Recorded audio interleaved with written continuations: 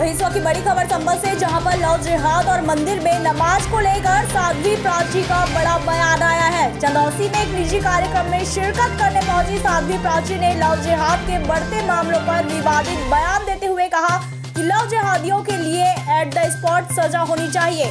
न कोई अपील, न कोई सुनवाई लव जिहादियों को सिर्फ़ बीच चौराहे पर फांसी दो ताकि लव जिहादी सीधे जन्नत जाकर बहत्तर हुरों के दर्शन कर सके।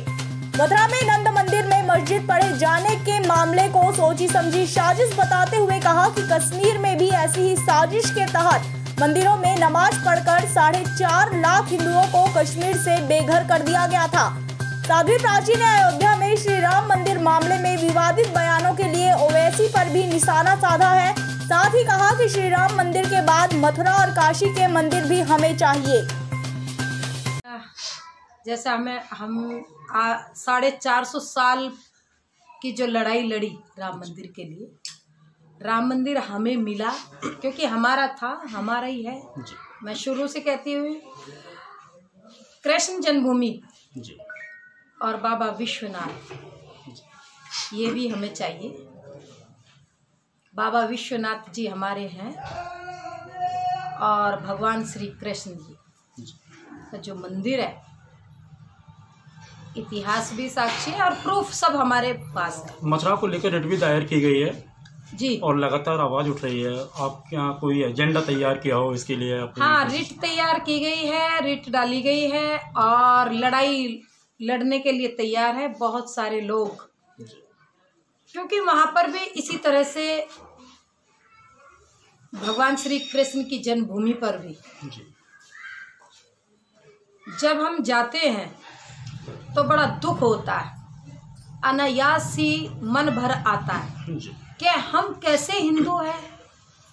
हमारे महान पुरुष हमारे भगवान के मंदिरों पर मस्जिदें खड़ी हैं और हम मूक बधिर बन करके क्योंकि हम एक दायरे में संविधान का पालन करते हुए कानून का पालन करते हुए हम सारी बातें करते हैं। तो हमें राम जन्मभूमि की तरह से श्री कृष्ण जन्मभूमि और काशी विश्वनाथ चाहिए जैसे बीजेपी की सरकार है जो कि हिंदू का एजेंडा है लेकिन इसके बावजूद लगातार ऐसी खबरें सामने आ रही हैं कि एक विशेष समुदाय के लोग मंदिरों में नमाज़ पढ़ रहे हैं। इसको लेकर क्या कहें? ये संदीप जी आपने बहुत अच्छा क्वेश्चन किया। सुनील। जी आपने बहुत अच्छा क्वेश्चन किया है। और आज के परिप्रेक्ष्य में देख करके मैं भी हैरान हूँ। जी। मंदिर में घुसते हैं नंद बाबा जी के मंदिर में। बहुत प्यार से बात करते पुजारी जी से। कोई उनको एजेंडा नहीं बताया जाता कि हम नमाज़ अदा करने आए। चुपचाप को जाकर के दूसरे गेट में जाकर के नमाज़ अदा कर लेते हैं। और बड़ी सफ़ाई के साथ स्पष्टीकरण करते हैं। कहते हैं कि हमारा समय हो गया था नमाज़ अदा करने का। नमाज़ अदा करने का अगर समय हो गया था तो नंद बाबा जी के मंदिर में घुसने की ज़रूरत नहीं थी। ये एक सोची समझी साजिश है। इसी तरह से कश्मीर के अंदर ये लोग प्यार से घुसते थे और फिर ज़बरदस्ती की थी। साढ़े चार लाख हिंदुओं को बेघर किया। यही परिणाम हुआ है ना? आज मुझे बिल्कुल मैं खुले आम जी न्यूज़ पर कह रही हूँ। इनकी सोची समझी साजिश है। कोई इनका एजेंडा है।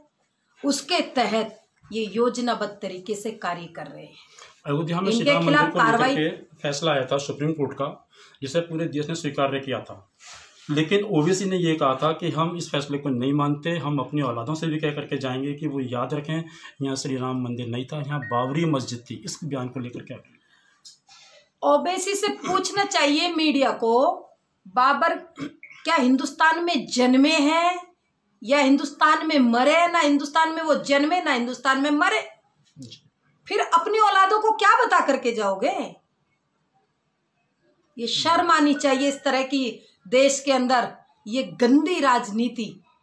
हिंदुस्तान के अंदर इस तरह के के ये माहौल। क्या ये देना चाहते हैं देश को? क्या बताना चाहते हैं? बताइए अपनी पीढ़ी को कि हमने राम जन्मभूमि को तोड़ करके बाबरी ढांचा खड़ा किया था।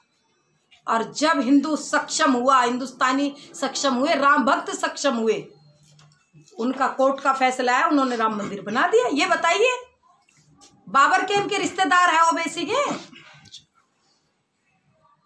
लव जिहाद इस समय बड़ा मुद्दा है।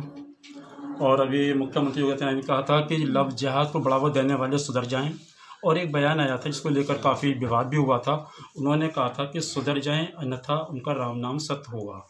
तो इस तरह के मामले आ रहे हैं लगातार एक सख्त कानून बनाए जाने की मांग हो रही है। तो क्या आप भी इस कानून को लेकर के समर्थन में हैं? लव जिहाद ये सच बात है बहुत तेज़ी के साथ बढ़ रहा है और चरम पर पहुँच गया है। इस समय पहले लव जिहाद बहलाया फुसलाया जाता था। बच्चियों के स्कूल के सामने लव जिहादी खड़े होते थे।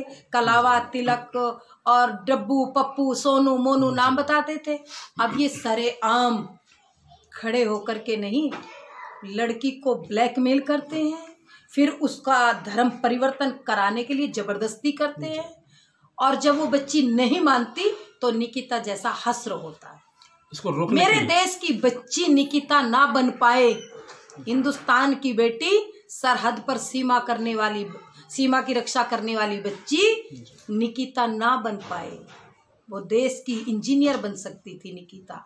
वो देश की आ, हिंदुस्तान की सीमाओं की रक्षा करने वाली बच्ची बन सकती थी। कोई और बच्ची ना बने इसलिए हमने मांग की है हिंदुस्तान में कड़े से कड़ा कानून लव जिहादियों को सिर्फ़ और सिर्फ़ ना अपील होनी चाहिए ना सुनवाई होनी चाहिए केवल और केवल ठुकाई हो ताकि बहत्तर हीरो के दर्शन हो जाए।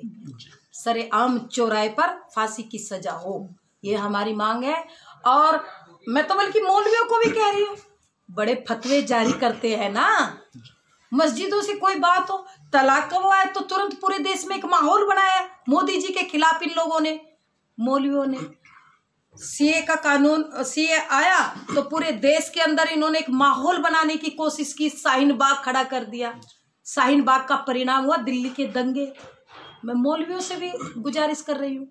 आइए, हिंदुस्तान की बेटी को बचाने के लिए मुहिम शुरुआत करती साध्वी प्राची, आप खड़े हो जाइए और हिंदुस्तान की बेटी को बचाने के लिए लव जिहाद के खिलाफ, लव जिहादी को फांसी की सजा हो। लेकिन ये कर नहीं सकते। ये देश हित में, राष्ट्र हित में ये कार्य नहीं करेंगे। ये केवल क्या करेंगे? ये मोदी जी का विरोध करेंगे। ये योगी जी का विरोध करेंगे।